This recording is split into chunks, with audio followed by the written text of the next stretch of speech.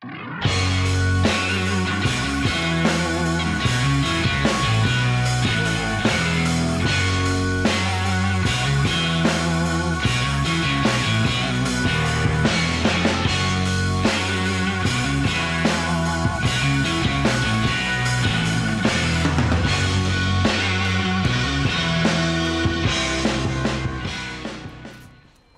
everyone, my name is Mr. Bullet on Fire 12 and welcome back to some more Modern Warfare 3 and in today's video we're going to be talking about COD 2016 a few days ago some information actually came out about the game and what it's actually going to be.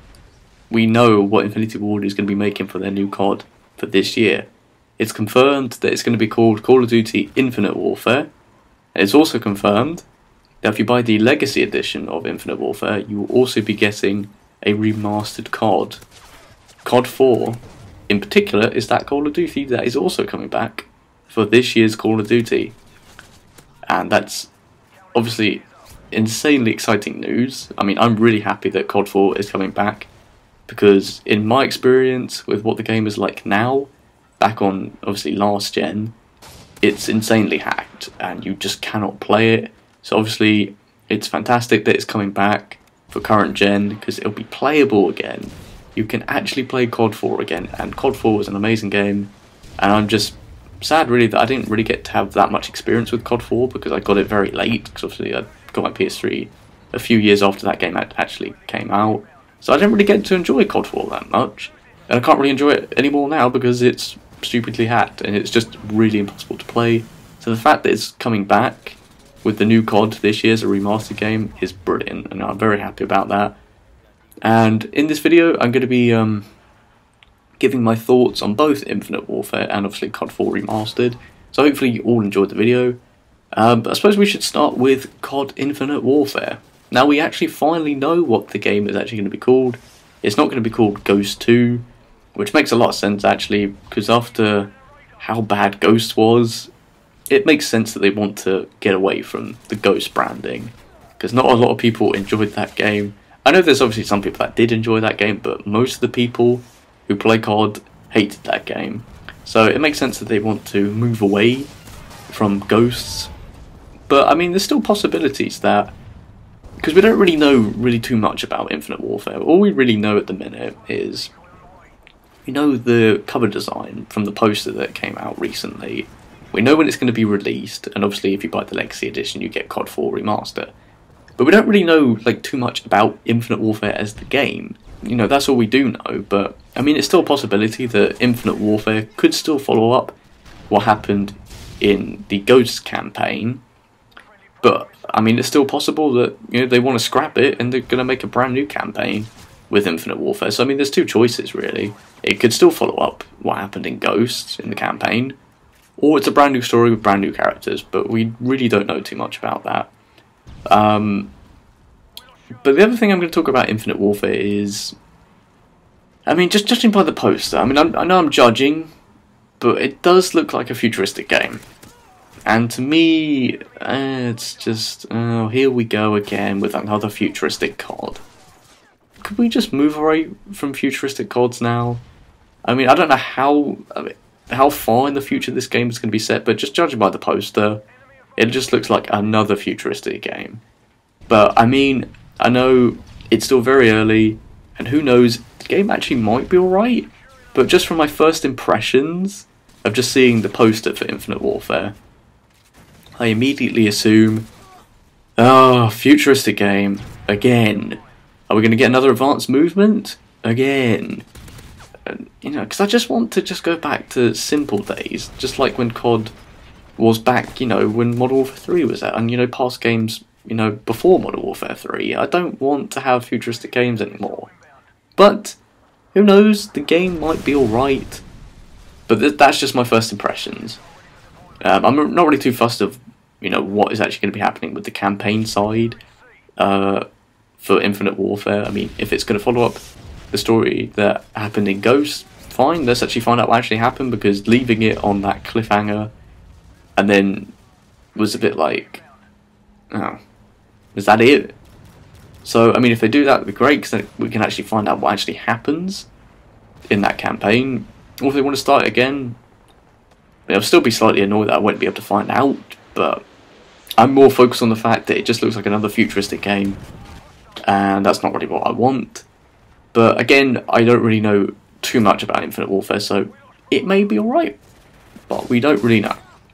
But that's really my first impressions on Infinite Warfare at the moment. I really need to find out more information about the game before I start actually judging it more, but at the minute I'm a bit like not really too excited about Infinite Warfare. I'm more excited about COD 4 Remastered, and that's what we're going to be talking about now for the rest of the video. Now, obviously, I'm very excited about COD 4 coming back, because right now, COD 4 in its current state is very unplayable. You, you just can't play it anymore. At least in my experience, anyway, because I tried to play it a couple of months ago, back in February, and it was just stupid. Like, the game has just been taken over. You can't play it anymore. There's literally no lobbies, at least I could find anyway, that were playable. They were just stupid hackers doing, you know, whatever they felt they wanted to do at the game, and it was ridiculous. You know, I made a video about this just towards the end of February, and that video got very popular, actually, and, you know, a lot of people agreed with me that it's just stupid that COD 4 has become this way with hackers just taking over and you just can't play it anymore.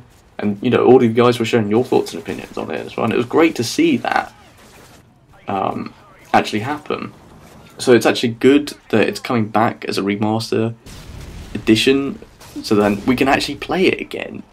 Because after seeing that response that came off that video, it was, you know, amazing to see that. And obviously, thank you, everyone, for showing the great support on that video because that was one of my most popular videos back in February that I've ever made. You know, I think it's over, it's getting closer to 70 views, which obviously that to some people that might not be a lot, but for me, for obviously being a small channel, that's a great amount of views that that video has gained. So obviously, thank you very much for showing obviously your support and your thoughts and opinions on that video because I might actually include some of that footage in this video now just to show you how bad it really was trying to play COD 4 when it's just so unplayable. But literally, thank you everybody for actually just sharing the amount of support on that video. It was amazing to see all your support and all your opinions of what COD 4 has actually become with all the hackers, you know, overtaking the game and you just can't play it anymore. So obviously, COD 4 coming back, it's great. It'll be playable again. You'll be able to play it. However, I do see some positives and also some negatives with COD 4 coming back with this Legacy Edition for Infinite Warfare.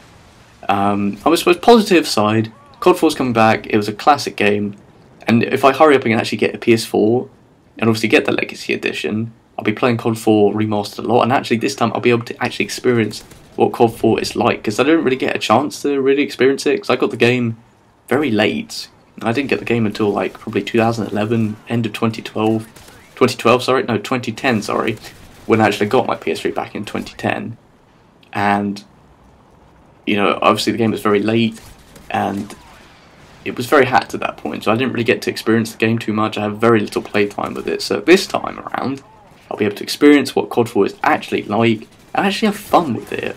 Because, you know, for a lot of people that actually did play it back then, they miss it because you just can't play it now.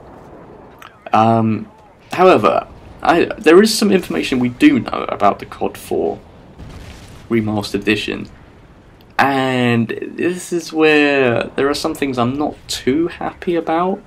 For one thing, COD 4 had 20 maps. Obviously, that's including with DLC maps as well. We do know that COD 4 Remastered, if you get it with the Legacy Edition, is only getting 10 multiplayer maps. Now, in my eyes, a remastered edition is a game which is exactly the same as it was before, but with updated graphics. Now, obviously, with a game like COD 4, it's obviously going to be a bit different because obviously it's got multiplayer aspects. I mean, in the past, I'm thinking of games just like, you know, the old Grand Theft Autos, like Grand Theft Auto 3 and, you know, San Andreas, for example, that got remastered. But obviously, that game has no multiplayer on there, so you don't need to worry about that kind of stuff. All you need to do is just up the graphics obviously with COD 4, I mean, the way I see they should do it is that it should come back uh, with everything in there. So it's got, you know, updated graphics, But because obviously it's got multiplayer aspect, it needs to be, you know, obviously tweaked. So obviously any bugs and things like that that should be fixed. But obviously a lot of people are talking about, you know, the fact that they're obviously stripping down the maps. In my opinion, the maps, all 20 of the maps should be there. That's obviously including the DLC. They should all be coming back. But then it's when you get to things about, you know, fixes with the game that need to happen. I would like it if anything that was broken with COD 4, that should be fixed. But a lot of people are now recently talking about are they going to strip down other th- things about it in the game? And obviously, I was listening to these things that people were saying, and actually, there's couple of, of points actually people make uh, in their videos. Like, for example, perks and things and other weapons. Would they really just strip it down with some, you know, weapons that were hardly used at all? Would they just only keep like weapons that people wanted to use? And the same with perks as well. Because if you remember, and I completely forgot about this, perks like Last Stand and Martyrdom, they would be coming back into this remastered edition. And those are perks that nobody wants anymore. We fought for years to get rid of those perks out of the game. And obviously, they're not in the game anymore, but they were in COD 4 when it came out because, you know, we. You know, COD 4 was very different. You know, those perks had not been seen before. So those perks would be coming back. Obviously, people are going to be thinking, are they going to just strip down those perks as well and other weapons and maybe other aspects about the game as well? We don't really know. What we do know is they've stripped down the maps. In my opinion, all the maps should be coming back to the game. That obviously includes the DLC maps as well. So then all 20 maps will be in the game, and then the updated graphics, and then fix anything that was slightly broken with COD 4. But then, obviously, how do you get around obviously these things? That would they strip down other things about the game, like the perks and the weapons? Because obviously, I don't really want Martyrdom and Last Stand to come back because they were horrible perks. We don't know what they're going to be doing with that yet. And another thing that something else that's with this Legacy Edition. I mean, it's great that you're going to be getting COD 4 remastered, but it's very expensive. And so far, I mean, I would assume that after the game has come out for a bit, then you can buy COD 4 Remastered separately. Now, I'd be very disappointed if you can't buy COD 4 Remastered separately after a bit of time. Because at the minute, people do have money struggles that are in situations like that. Not everybody does, but like me in particular, I've been in money struggles for a while, and then I still haven't been able to afford a PS4 yet. So then, trying to find enough money to then get a PS4 and then pre-order this Legacy Edition for Infinite Warfare to get COD 4 Remastered, that's a lot of money. And I think really that they should definitely make sure that you can just buy COD 4 Remastered separately because it'd be really stupid if the only way you can actually get COD 4 Remastered is if you just buy the Legacy Edition. I mean, to be honest, I think really they should be doing it separately as well. Just because, well, I mean, just from the little information that I've seen about Infinite Warfare, all I really want from this Legacy Edition is COD 4 Remastered. So either they should just bring down the price a little bit. I mean, who knows? That price may drop down anyway. We don't know. It's still very early days, but I do think that it is a lot of money to bundle in for the Legacy Edition of Infinite Warfare and COD 4 Master. and all we do know is that we're getting less maps that COD 4 did have in this game. So, I don't know. I mean, it's great it's coming back, but there are some things I'm a bit concerned about, and I'm not really too happy with. Um, but it's still very early days. We still need to find out more information that's obviously going to be coming out later on in the upcoming months when we actually see footage for Infinite Warfare as well and get more information on that. But, I mean, that is today's video talking about the new COD. We know finally what it's going to be called now. We're obviously getting a remastered game, but there are some things I am concerned about with this Infinite Warfare and obviously COD 4 Remastered as well. But we still need to find out more information. But anyway, I'm going to end off this video now. I hope you've all enjoyed it. And in the comment section below, um, let me know what you think about Infinite Warfare and obviously COD 4 Remastered as well. And I hope you have all enjoyed this video, and if you have, remember to leave a like rating and subscribe if you are new. But for now, it is goodbye from me. I shall see all of you guys very soon with my next video.